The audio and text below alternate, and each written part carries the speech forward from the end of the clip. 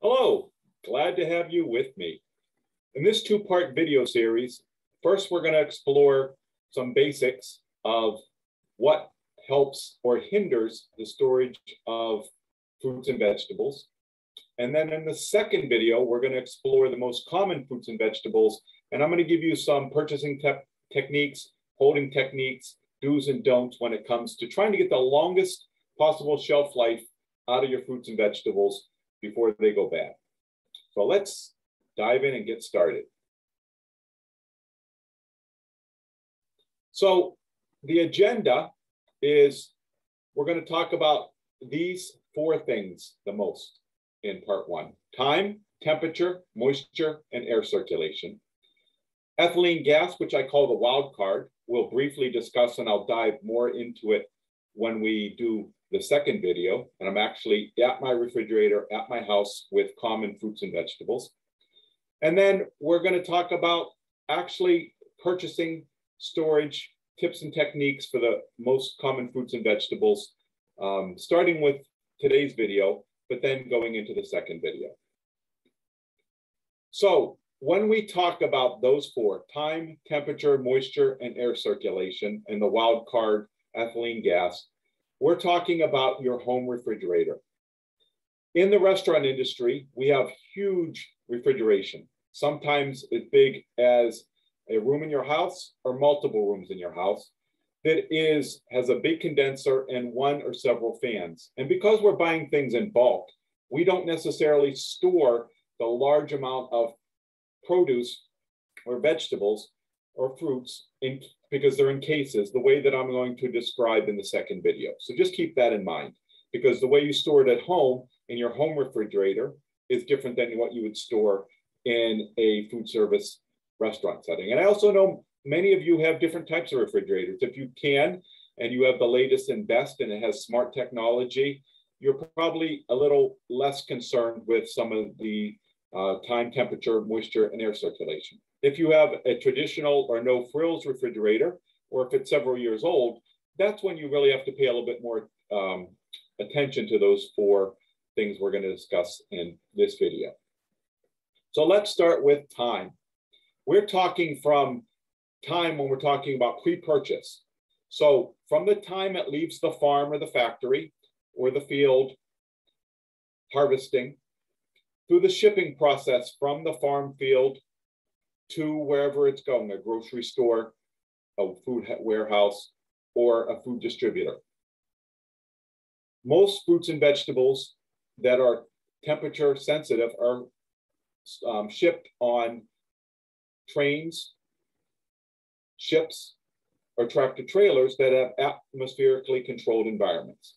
So hopefully from the time your, your item was purchased, excuse me, picked or harvested, it is uh, starting with the time and temperature from that point. Then we may have shipping from a distributor to the supermarket, and maybe you're buying it from a farmer's market where maybe for a certain period of time, temperature and time are a little bit altered because they're displaying their product and it's not like a supermarket where they have huge display cases. And most fruits and vegetables are meant to be or have the ability to be stored at room temperature for periods of time. And then storage from the supermarket or the farmer's market, and then handling the whole process and specifically what you do once you get it home.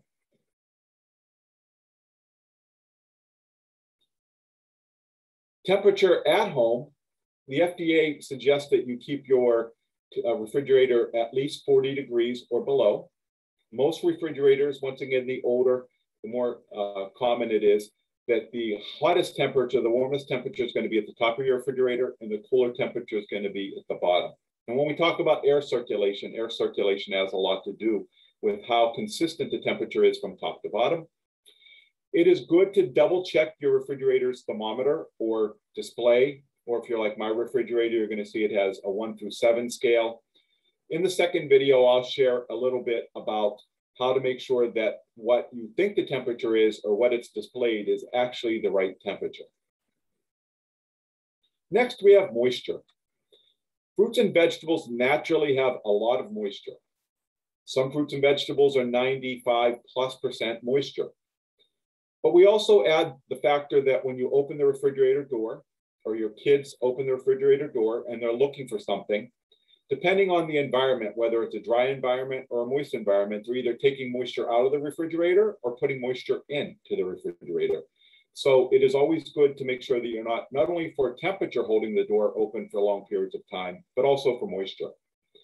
As you'll see in the next video, moisture can be both a friend and an enemy to certain fruits and vegetables, which will determine how long they're safe, fresh, and ready to eat, or at the best quality of them to be ready to eat, be eaten, and that you don't actually throw them away.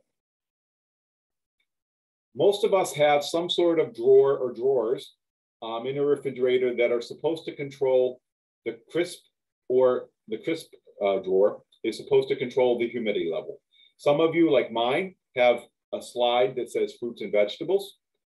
Some refrigerators actually say higher humidity, medium humidity, low humidity. But a key thing to remember is if it tends to rot, they like a low, they're low humidity, and if they tend to wilt, they're high humidity. So in the column where it says high, it's sensitive to moisture loss and sensitive to ethylene gas, which once again is a wild card. And you can see some common things that you would want to make sure um, you have in the right place. Broccoli, Brussels sprouts, cabbage and cauliflower, peppers, herbs, leafy greens. So when you think about leafy greens, you would think that you want them to have, they should be in high humidity. And that is correct. So you want to make sure that they're stored in the crisper drawer where it says high humidity or um, fruits or vegetables, depending on how yours is set up. And then low would be apples, avocados, honeydew melons, cantaloupes, etc. Airflow. You don't want to overpack your refrigerator. So if you do a big shop and you go and you start packing a lot of things in your refrigerator on all shelves, this is going to restrict the airflow. The, every refrigerator is a little bit different of how and where it, it distributes air, the cold air. So you want to make sure that A, the vents or the fans are not blocked, but also that you're not overstocking the refrigerator, which is going to cause the air to not be able to flow all through the refrigerator. And once again, maybe causing warmer spots or cooler spots. When you reduce airflow, it can, it'll produce those inconsistent temperatures. But another thing that you should do is pull your refrigerator out from the wall and clean the vents behind. Not only will that keep it more energy efficient, but it'll also help um, keep your refrigeration, the airflow properly and the temperature held properly. Okay, the wild card. And I got this information from UCSD uh, Community Health. And as you can read on the screen, ethylene gas is released by fruits and vegetables, um, causing product uh, produce to ripen faster. So down where it says, what can I do? Uh, you do store fruits and vegetables that are producing ethylene gas with those that are sensitive to ethylene gas. For example, do not store bananas and apples next to each other. So in the next video, I'll share once again what produce uh, um, items or fruits have a lot of ethylene gas. But in general, think about bananas. If you get green bananas, you put them in a paper bag, they're going to ripen quicker. So if it's producing ethylene gas and you want um, to put it with um, ethylene gas sensitive, which is uh, in the red, where it's apples, avocados, bananas, grapes, etc. You want to make sure you're storing things properly. And once again, I'll dive a little bit more into that in the next video when I do some common fruits and vegetables that we have in most of our households. And then ethylene producers is the next good thing to know. Apples, avocados, bananas, cantaloupes, kiwis, peaches, pears, tomatoes. And then not ethylene sensitive are things that ethylene gas really isn't going to have an impact on. So that is the wild card because sometimes if we're trying to store strictly by humidity, you're going to be putting something that's ethylene sensitive with an ethylene producer. So um, there are times that you have to make your best judgment of how to store things appropriately to get the longest shelf life and the freshest product for you to have and be able to eat. So that was the first video.